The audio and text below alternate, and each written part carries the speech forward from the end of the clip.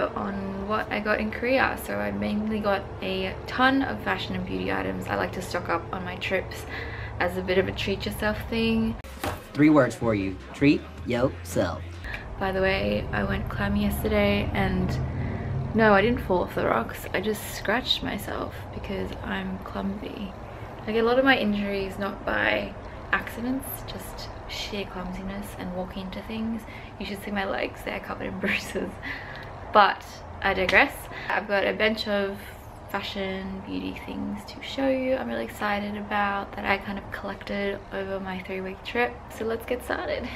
So the first thing that I got was this bucket hat from COS I got it in Hong Kong. It's made out of this navy corduroy texture and I really like it. I put it up on my Instagram stories because I didn't actually seek out to buy a bucket hat. It just kind of came to me in a way. Um, but I went into three COS stores because I was so undecided on if I should get it or not and put it on my Instagram stories and everyone was like get it except for my sister who was like yuck but I ended up getting it. Uh, so yeah it's really cool. It's like this unexpected accessory that just makes an outfit just level up a little bit and I love the texture. I love how it just looks from afar and then up close you can kind of see the cord detailing.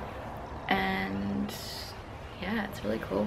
It folds up really nicely into little bags and I really like it. Very unexpected accessory that I thought I'd own but it's very cool.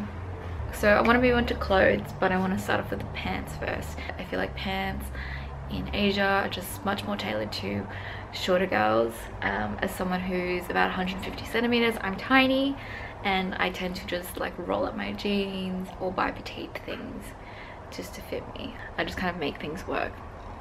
So the first pair of pants that I bought following the whole corduroy texture um, are these Rola Rola pants. They're very strange folded up huh but they are in this really nice pink corduroy texture really sturdy. Um, I went into their store in Hongdae their concept flagship store I don't know what it's called and fell in love with these pants. I've seen them on the Q2HAN video that they did a few months ago. And I was like man I really hope that these pants are still in stock. And they were. I tried them on and they fit so nicely. So what they are are this wide-legged shape. They're quite tight on the waist so it cinches in there and makes your waist look really nice and fitted and then they flare out into a wide leg shape. They've got this really cool detail at the bottom where the cuff is really thick and tall so they look really cool with a pair of sneakers. And I've never owned a pair of blush pink corduroy pants before so it's something new to play with and it's something to just kind of lighten up my wardrobe to make it a little bit more playful. Uh, so I really really like these so my next pair of pants are very different to the pink corduroy pants. They are these ones from Zara and they are this kind of houndstooth brown and black patterned wide leg pant. I've got a really cute fake paper bag waist here with the stitching and a nice tie so again your waist is shown off and then it's super wide legged they cut so nicely on me they actually cut right above my ankle so they work really nice with a ankle boot especially in the autumn where we are now in Sydney. I'm pulling these out for work all the time and they're really comfortable. My only gripe is that they don't have pockets which suck but I kind of factored that in when I bought them and I think they look really nice anyway. Moving on to tops.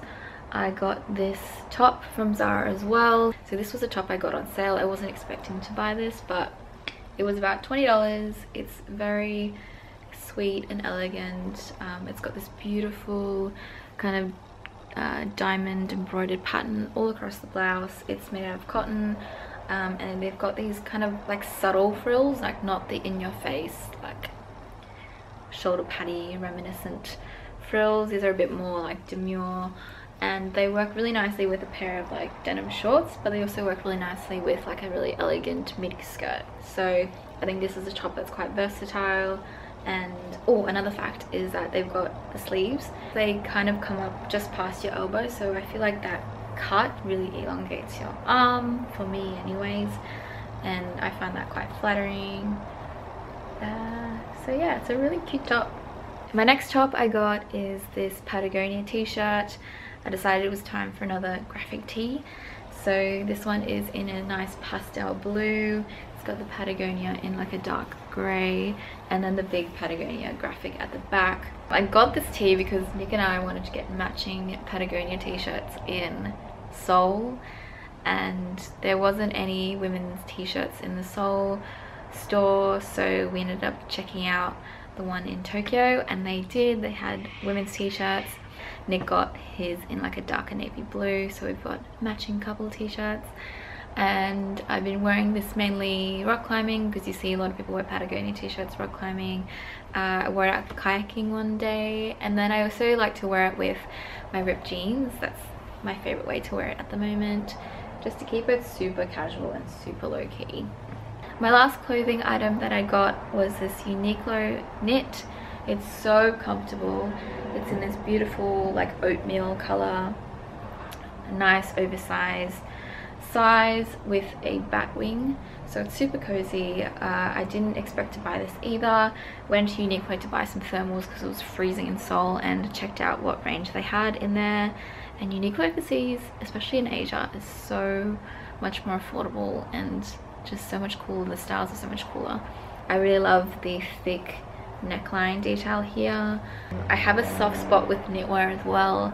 I own quite a lot and it's probably the thing I like to wear the most during the colder seasons because they're just super comfy. It's like you're wearing a blanket. And yeah I don't think I think this will just come in handy during the whole season. The next thing I got in Seoul was like my splurge purchase. I got these sunglasses from Gentle Monster. I've done my research, I watched a lot of Joan Day vlogs and just absolutely fell in love with their branding, their marketing. Just everything from start to finish is just well thought out and super cool. They are a sunglasses company and their stores all around Seoul have different art installations that get changed out every couple of months.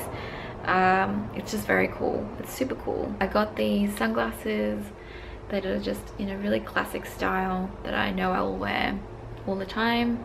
Um, the style is called Key West and they just fit really nicely on my face. I think they work well, you know, with my hair down and with my hair up, which is something that I like to check when I buy sunglasses. And they've got this really nice reflective um, detailing. The case is really cool, but the fact that it's white, it's starting to get a little bit dirty and smudged, so I need to either find a new case to put it in or I'll just have to keep cleaning it because there's like smudges appearing on it because it's just knocking around in my bag. Uh, but I really like them. They're so nice and so pretty.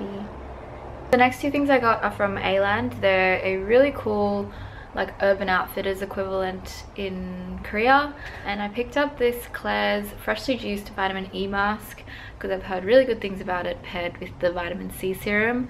Um, so basically it's a mask but it can also be used as a moisturizer.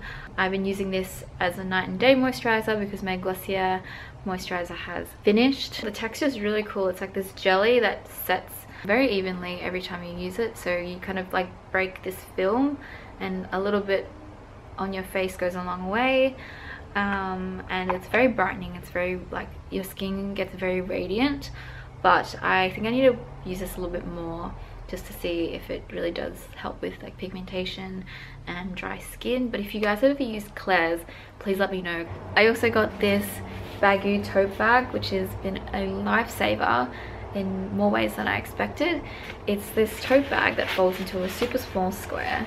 So I got they come in like a range of prints. I got this in a really bright solid color print but it folds out into a huge tote bag. And I just I've heard about these tote bags.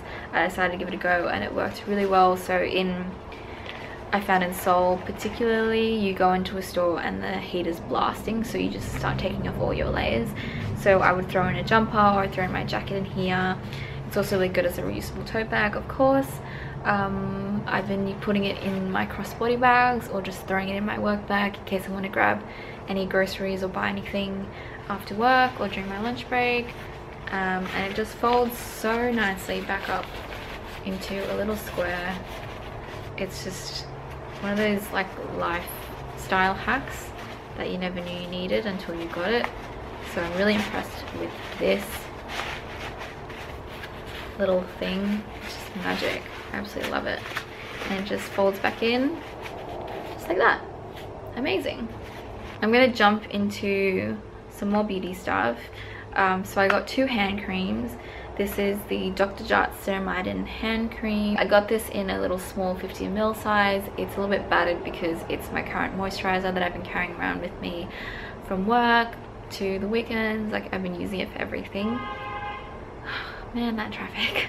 yeah, I really like it. It's quite lightweight. There's a very subtle fragrance to it. And it's been working really well. I've been using it mainly because my hands have been super dry and also after bouldering my hands are so dry from the chalk all over my hands. The second hand cream I have is by Tamburins which where you can tell by the incredible packaging they are from the same company as Gentle Monster. So this one is the Nude Hand Cream. It's an amazing tube. The scent is very like mandarin heavy, which I really like, and it reminds you of like the Aesop and Grown Alchemist scents if that gives you a bit of an idea of what it smells like um, I haven't actually used this one yet I'm going to finish finish the Dr. Jart one first um, but it did come with two little samples of it so I've been using those ones instead but I feel like with this packaging it'll wear out really nicely with all the creases and the bumps um, so I'm really excited to use this later on in the year next I've got two makeup things from 3CE I got this really cool multi-eye color palette in Plot Twist. So it's got a range of matte browns and some really nice shimmery like rosy brown hues.